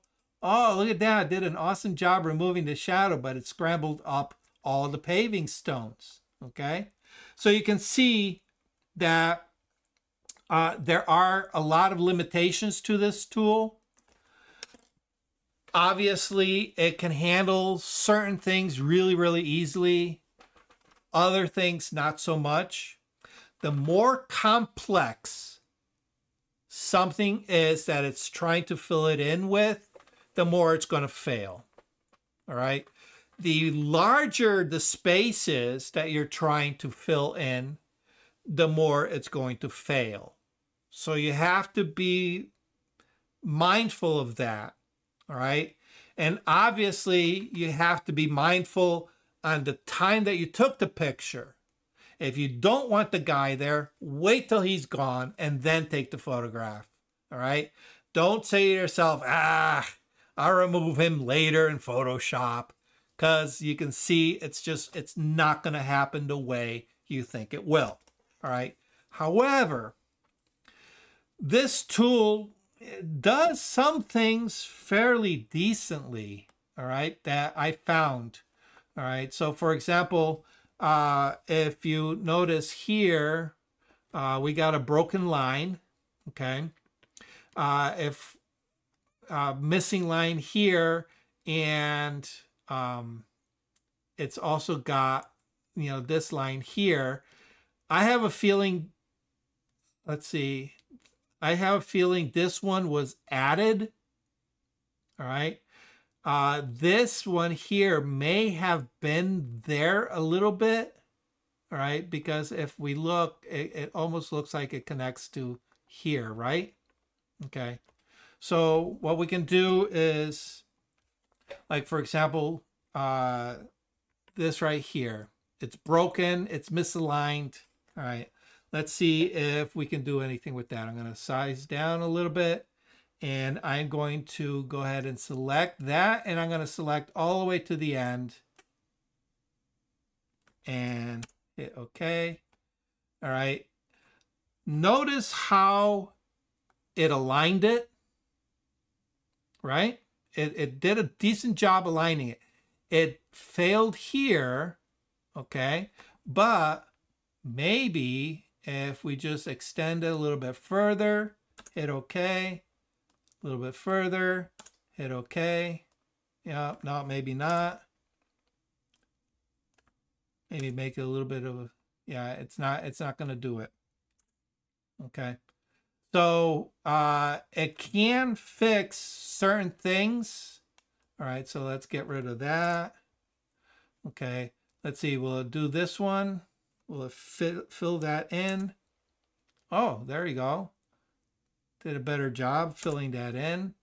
Okay, so we can use it to kind of fix certain things that are created when we remove something. And it, it doesn't matter what tool you use to remove. All right. You, you obviously you're going to pick the right tool for the right job. Obviously, it failed miserably here. We would need to try something else, maybe clone stamp tool, maybe, you know, uh, uh, taking a patch out of a separate frame and dropping it into this frame, whatever it is. All right. But whenever there's little problem areas, this tool can kind of sort of help correct it. All right.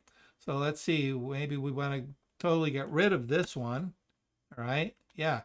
All right. And then uh, we have this line here that kind of dips down and then back up. All right. Let's see if maybe it'll fix that. Oops. Let's see if we can get it a little bit straighter. It entered. Look at that. Beautiful, beautiful job. Okay. So uh, this tool has a lot going for it, but as you can see, it also has uh, a long way to go to um, really be um, useful in certain effects. All right. But again, I pushed it here. I, I really pushed it by trying to remove an entire person from my scene. Okay. All right. Uh, so that's all the tools. The um, contextual toolbar at the bottom, the adjustment presets, which I think is, you know, stupid. Live gradients, which is awesome, finally. And of course, the remove tool. Okay, any questions?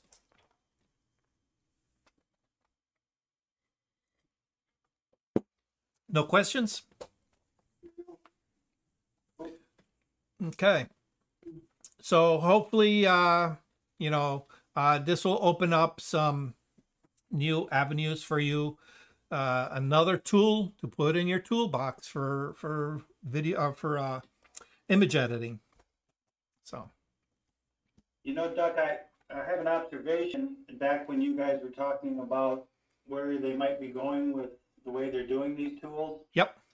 And and uh, one of the things I've been doing a little bit of uh, is playing around with. Well, I've been shooting with RAW on my camera, and then uh, am I on camera? Uh, anyway, I've been shooting RAW on my camera and processing it with Lightroom on my camera. Yeah, and then sometimes I'll bring it over into Lightroom. So I've been practicing and playing around with, you know, Lightroom on the phone. Oh, like yeah, yeah, yeah. And as I do that, you know, the thought I had when I went into Photoshop, which I hadn't been in a while actually, uh, it occurred to me that maybe, you know, that some of that stuff looks like they're trying to make it more Lightroom like, and that maybe then, you know, gonna start, we're gonna start seeing some more Photoshoppy things and, uh, Yeah.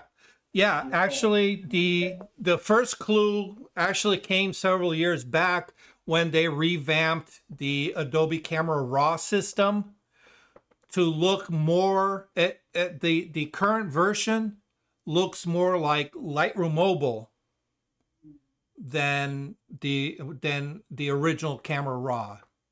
Okay? So yes, they are moving to a more uh, um, homogenized look.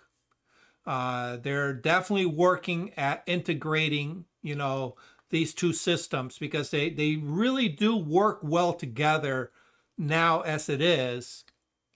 Um, but as they start extending into mobile platforms, they want everything to really just move together nicely. All right. That's why, you know, things like uh, uh, Lightroom Mobile and uh, Lightroom and Lightroom for the web, they all rely on your Creative Cloud account in order to uh, to create the um, um, the libraries there and to store the images there.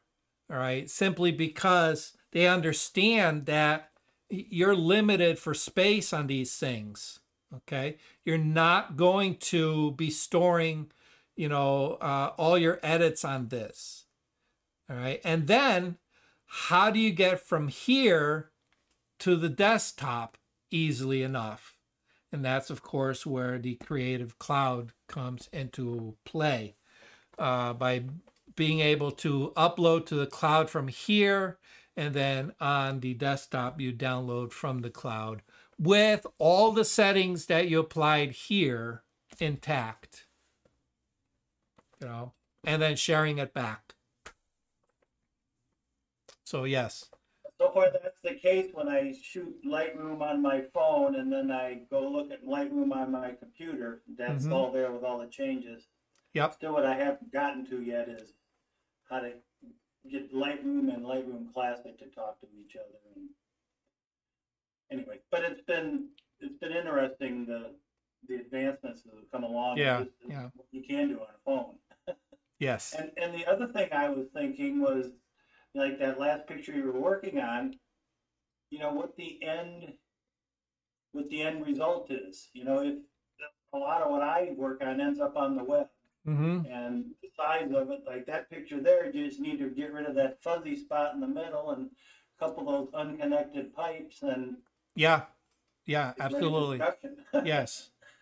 you know, and, and or in another case, I was walking around Lowe's last week waiting for my friend to buy some. I to take a took a bunch of pictures of the flowers with my practicing the raw and ran them through Lightroom real quick and you know did some things to them and Yep. real quick I had Yeah, a decent enough picture. Absolutely. Yeah. and, you know I'm thinking well there must be someone who could use you know anyway Yeah, yeah, yeah. the monetary part start thinking but it was pretty interesting from photo to you know product image I think Yeah. neat. Yeah, absolutely. Um, but yeah, it, you're absolutely right. It makes sense. You have to uh, understand what the uh, end use is for any one of these images as to how far you need to go with the edit. You know, obviously, high end uh, retouching for like a family portrait, you're not going to get away with what I did with that last image and and leaving things disconnected and and blurry looking and things like that. Um, but if it's something in the corner, way in the background, on an image that's going to be this big on a screen on a website, by all means, yeah, go for it. Uh, nobody will ever notice. Nobody will ever complain. Hey, Perfect. speaking of small images and changing the subject a little bit, uh, when I'll let you. Okay. we that uh, little thing you had out at the uh, we had out the New Britain Museum, Yes. New Britain Museum of Art, Yep. and that uh, illusionist photographer had his exhibit in the other room. His name escapes me right Uh, now. Walter um, Wick. Walter Wick. Yep. Yeah. Anyway, they had a big spread about his uh, exhibit up there in the uh, Sunday paper. Oh, nice. And and those who haven't seen it, it- it's it's worth the. Uh, I would say it's worth the trip. Absolutely. Yeah. I was I never heard of that fellow before, but uh, yeah, that was Which quite they an think amazing Brian. exhibit. Yeah, Bill Bill was with me when we went to uh, see it uh, uh, as well. Um, so yeah, it's if if you haven't gone, it's amazing what this guy has done uh, with the set building for the I Spy books. It's just friggin' phenomenal. Some of the problem solving that he undertook in order to get some of those images um, was very interesting. now, uh, I've known about the I Spy books for a long time. I bought them for my kids way back in the day. And I always thought that they were amazing photographically. All right. Uh, but I never stopped and analyzed how he did it. It was like, yeah, this is this is nice. I enjoy it for what it is. The book, here it is. Put it back on the shelf. Out of mind, out of sight. Okay. Here it is. Many, many, many years later, I get involved in commercial photography. I'm problem solving on how to do certain things photographically. And after listening to his his talk at the museum, it's like, wow, I use that same technique for some of my stuff. You know, I I uh, figured it out the same way he did, and I, it, you know, it never occurred to me that yeah, somebody had already figured it out ahead of me. But it's it's the problem solving that goes into it. It just it's amazing, and it's like wow, we both came to the same exact conclusion, and we both got the same exact results. It's amazing. So Yeah, I liked about that guy is he seemed to sure have fun with doing what he was Yes. doing. And that Absolutely. seemed to be part of his problem solving. yes, yeah, yeah. Uh, if you're not having fun, you're not doing it right. You know. Brian, what newspaper do you see that in? Oh, the, the Connecticut Post, CT Post. Okay, Oh. I'll find it. Cool. Yeah, he was a Connecticut native for a long, long time. So that was a big, pretty big deal that we got to see him that night. Just Yes. didn't know who he was, and we got to see him uh, give a nice talk. Yeah, That's yeah, yep. Uh, awesome. All right. Uh, anybody else got any questions on anything that I covered uh, with Photoshop today? No, that, wa- that was helpful because I had trouble figuring out, um, Okay. um, you know, the, what I was talking, the, the contextual, uh, little box and. Yeah. uh, The, the only thing is, it looked as if on your screen, or maybe you have a newer version than I, I do of Photoshop. On my version of Photoshop, did I put it away? Yeah. It comes in on the bottom with all the other tools that you, miscellaneous type of tools instead of up on top next to the spot healing tool. The remove tool comes, yeah. Oh, oh, oh, yeah. Okay. So here, I'll uh, I'll show you how to fix that. Okay. Okay. Um, if you go to the, all right. So I park, I'm right handed. I park mine on the right hand side um, simply because it, it's, it's easier for me to, to access it going this way rather than crossing over. Make sense? All right. So uh, if you go to all the way to the bottom, you're going to see the three ellipses. Okay.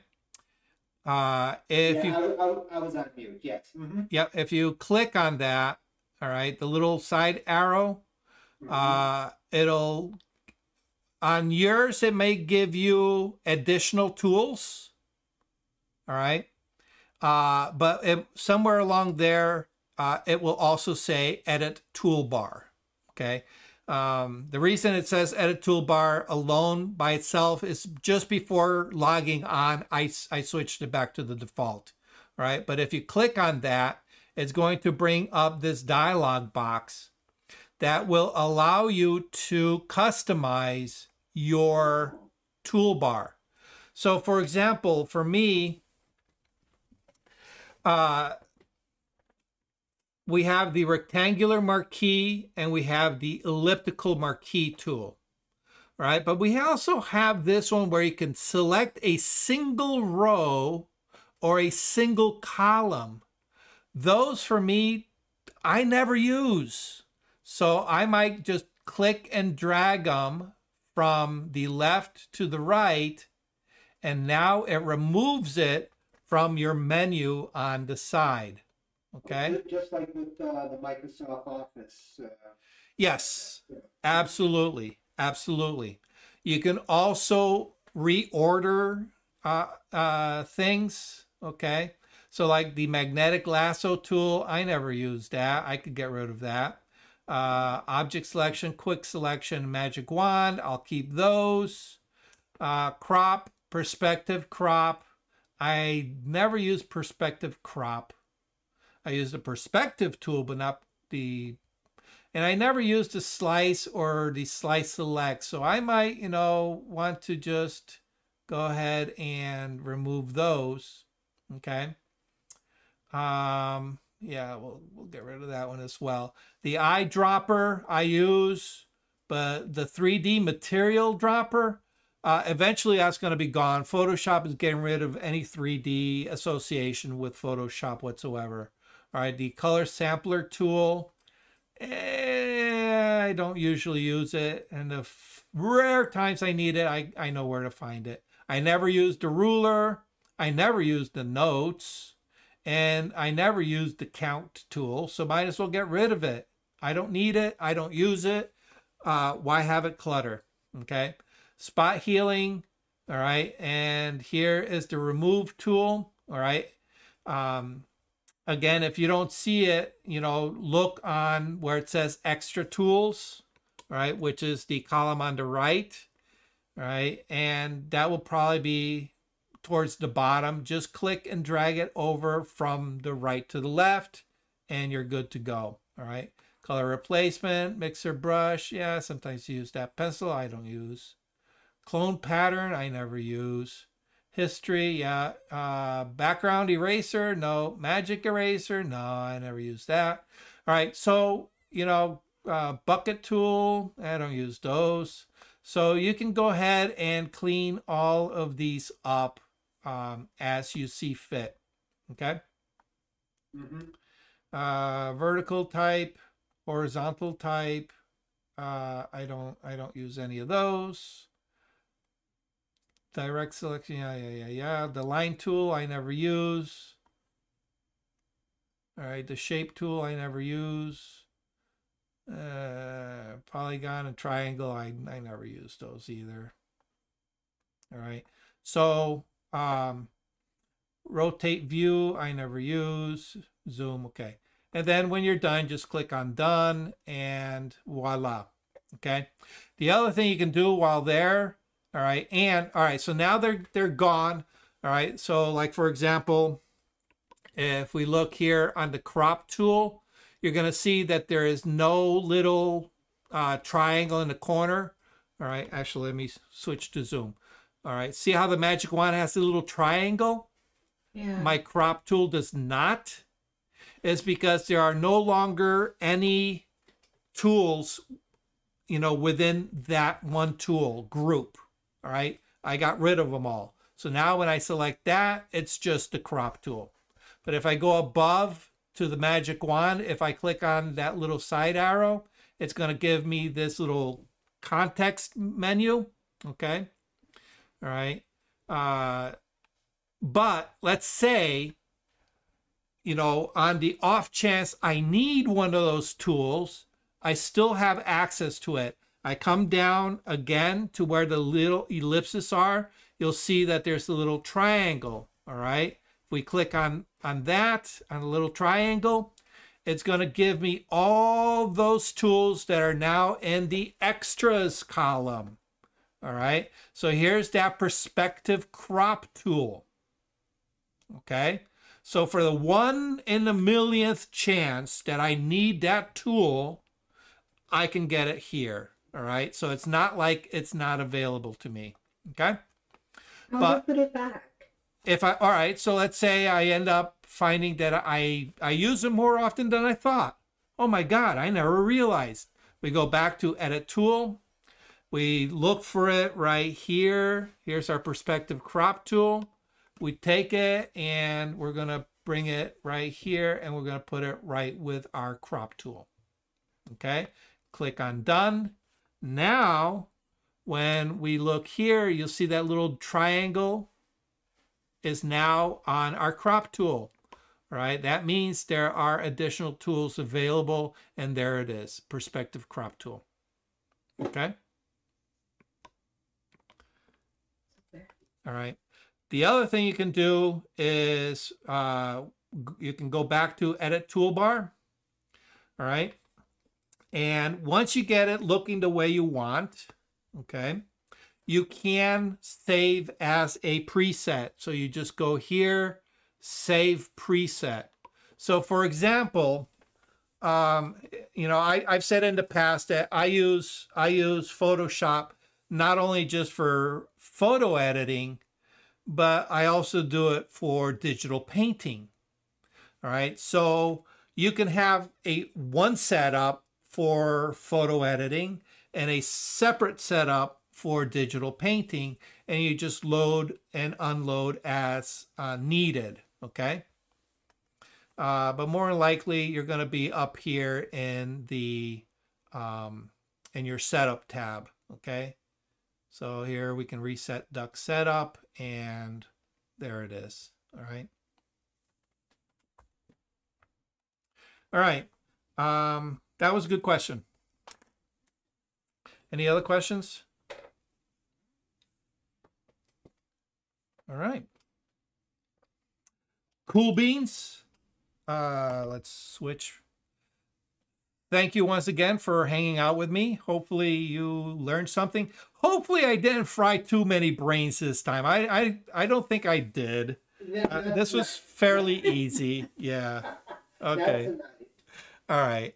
I, I I gotta balance that, you know. I, I gotta make sure I don't I gotta make sure I don't fry brains to the point that, you know, I I you, you end up in in uh in the mental ward. Duck did it, Duck did it. Doc, you have to remember you're catching us at six thirty at night after all. yeah, yeah, yeah. Exactly. Yeah, exactly, you know. Long day work. I gotta Yeah, Monday, Monday's my hiking day, and sometimes Mm. by the time we get to six thirty, I'm like. In fact, I- Oh, I yeah, shouldn't- yeah, I yeah. shouldn't drink. Mm. I shouldn't drink coffee at this hour of night, but I have a cup of coffee here. uh that explains it. Yeah. All right, guys. Um, next week is general Q and A. If anybody has an image they would like me to edit for them and and walk through the editing process, that's a great time to do it. Um, otherwise, you know, have your questions ready for me, and you know, maybe we'll uh, do some problem solving, uh, answer some questions that you know problems you may be having. And again, it doesn't matter. It does it it, it could be editing, all right? It could be something to do with camera, something to do with lighting, whatever it is. Okay? Cool. All right, guys. Once again, thank you so much. I really appreciate you and hopefully we'll see you next week. Thanks, Doc. All right. Thank you, Doc. Be good. Thank you for watching Learning Photography with Duck. Brought to you in association with Milford Photo, your local full service camera store. Located in downtown Milford, Connecticut, Milford Photo offers you a personalized shopping experience. From the latest camera gear to printing and framing services. And, of course, educational workshops to teach you the finer aspects of photography. Don't forget to tell them Duck sent you.